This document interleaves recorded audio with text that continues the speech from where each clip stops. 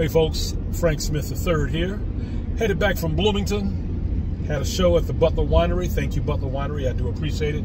Had a good time. Uh, let's see. In a nutshell,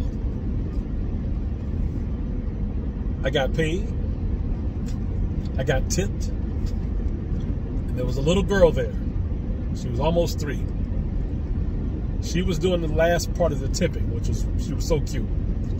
But after that third dollar she put in there, she decided to go to my tip jar, my tip bucket, and take all the money out. I was being robbed while I was singing. It was hilarious. I was cracking up. I should have some video of me laughing at least.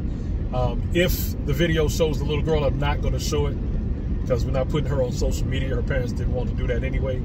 Uh, her dad did buy one of my vinyl records. I really appreciate that, sir.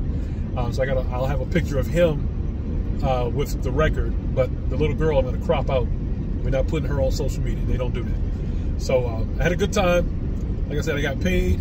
I got tipped. I almost got robbed. I did get robbed briefly by a little girl.